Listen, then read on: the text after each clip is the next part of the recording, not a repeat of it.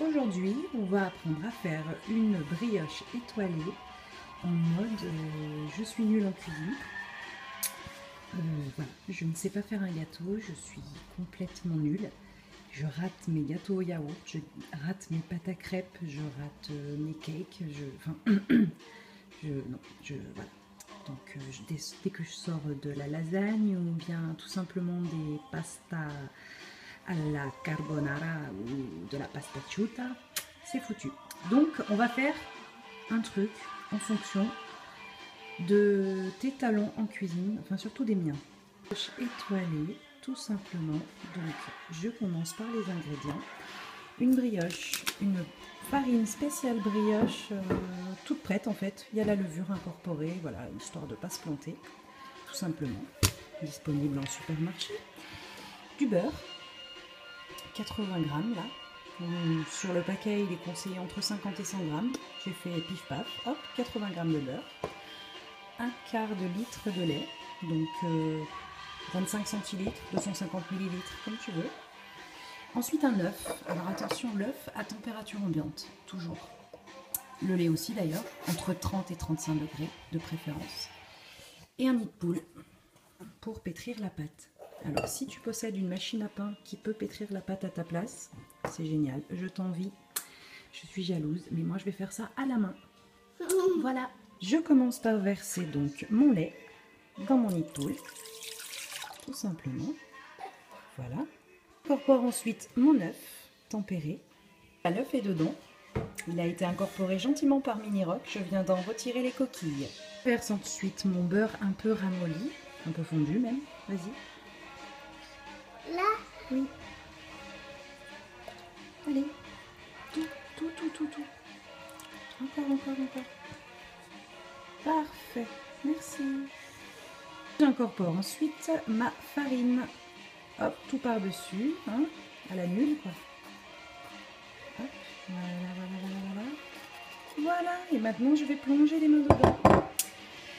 Alors, euh, je vous épargnerai ce moment un petit peu de gênant. A tout de suite. Voilà la pâte pétrite. Donc euh, voilà, hein, elle a une consistance. euh, hop, là, hop. Je peux faire euh, une petite bêtise dessus. Hop, hop, hop, hop, hop. Elle est pétrie. Donc on va la laisser reposer maintenant. Donc sur le paquet, il conseille de la laisser 2 à 3 heures, non 1 à 2 heures, pardon, en plus je ne sais pas lire. De 1 à 2 heures à température ambiante ou 30 minutes à entre 35 et 50 degrés. Donc ce que je vais faire, c'est que je vais la mettre dans mon four à 50 degrés pendant 30 minutes. Je vais la surveiller quand même pour qu'elle lève en fait, parce qu'il y a de la levure à l'intérieur. Le but c'est qu'elle lève un petit peu. Donc voilà, je vais la mettre dans mon four. À tout de suite. La pâte à lever. Donc maintenant, je vais la pétrir avec mes petites mains, armées des petites mains de mini rock également. À tout de suite. Très fort, très fort.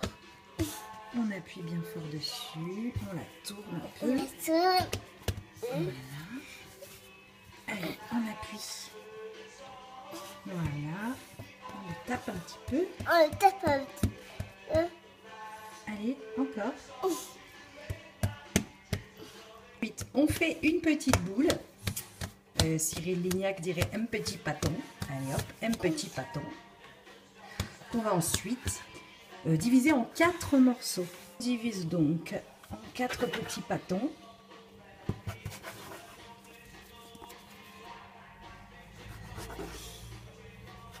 De parts égales, c'est possible. Et, et, et, et voici. Voici, voici, voici. Quatre petits pâtons. On va faire ensuite quatre petits pâtons. Quatre petites boules de pâte. Voici les quatre petites boules que nous allons euh, étaler une à une en formant des disques de 30-40 cm, je sais pas trop. On va voir en fonction de nos capacités. On réserve les petits pâtons d'un côté et on étale bien sa pâte préalablement à la main et ensuite au rouleau pâtissier. Rouleau pâtissier pour l'occasion. Je tenais vraiment à vous le montrer, je pense que est très sympa en fait. Il correspond bien à mon image de la cuisine. Prends donc une feuille de papier cuisson, papier sulfurisé. Quatre pâtons sont maintenant étalés, donc j'ai quatre pâtes qui ne sont absolument pas rondes, mais on va feinter. On va feinter. Donc, on va commencer à monter la brioche. Dépose ma première couche de pâte, qui est magnifique, comme vous pouvez le constater. Pas encore parlé de la pâte à tartiner, donc j'ai choisi une pâte à tartiner bio, jardin bio. Donc euh, voilà, donc je vais la passer un petit peu au micro-ondes pour euh, la ramollir un peu pour pas qu'elle euh, accroche ma pâte. Une petite astuce euh, d'une lectrice qui est assez cool. Donc merci. Je vais la faire ramollir et on va continuer donc le montage de la brioche. J'étale bien mon Nutella, enfin mon faux Nutella, sur la pâte. Hop. En caressant la pâte. C'est moi qui veux caresser la Oui. Hop. On caresse, on caresse. Caresse, on caresse, on caresse bien la pâte. Voilà. Donc la deuxième couche de pâte, on va appliquer la troisième. C'est la troisième couche qui est la plus magnifique, je pense. C'est vraiment la, c'est la Miss Univers des couches quoi. Elle est magnifique. Ouais, elle est très très belle. Je pense que je l'ai très bien réussi là. Etchebest, euh, s'il me voyait, je pense que il serait ulcéré là. Donc cette euh, avant-dernière couche est tellement magnifique en fait qu'elle plisse un petit peu comme ma peau à 32 ans. hein. Donc du coup, euh, ben, il faut intégrer euh, dans les plis hein, pour éviter que ça fasse moche. Puis surtout qu'il y ait du chocolat de partout. Voilà, c'est magnifique. Je pense vraiment qu'elle va être réussie, mais alors à un point, je pense que vous imaginez même pas. Et du coup, je pense qu'on est bon. On va appliquer la dernière couche et on va procéder à la petite feinte pour redonner une forme un peu ronde à tout ça avant de découper la brioche pour faire une étoile. Voilà donc, et magie, magie, hop là Elle est ronde On va enlever toute cette chose autour un petit peu immonde et on va com- commencer en fait à sectionner la brioche. Voilà, donc on va la sectionner en quatre. Donc j'ai fait les premières marques pour éviter de me planter. Donc on va commencer à découper la galette. Alors on fait attention, on va pas jusqu'au centre. hein. On s'avance un petit peu, mais on ne va surtout pas jusqu'au centre. Voilà. Oui, voilà. Ensuite, on refait la même chose. Donc là, on était en 4. Maintenant, on part en 8. Je tremble comme une feuille. C'est super égal en plus, c'est magnifique. J'étais pas prof de maths. Une étoile. Et ensuite en 16. Et on dirait une araignée. Et on dirait une araignée. Magnifique araignée. Une araignée. Hop là. Araignée. Moi, c'est une araignée pour la faire.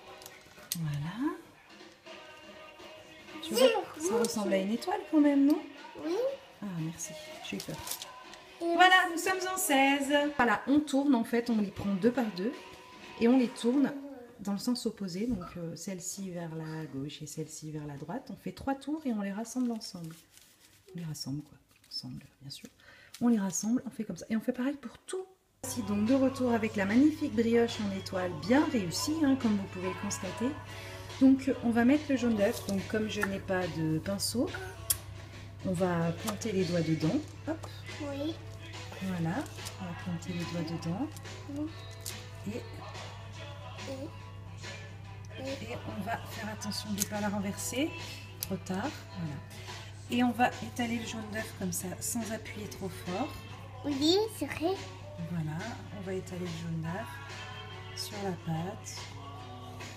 Hop, voilà, comme ça. Voilà, notre brioche étoile est recouverte de jaune d'œuf appliqué euh, à la main, sous les aisselles.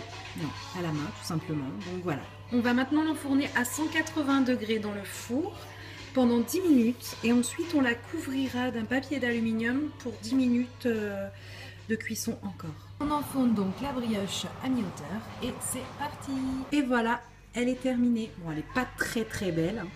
Elle a sauté à quelques endroits, voilà.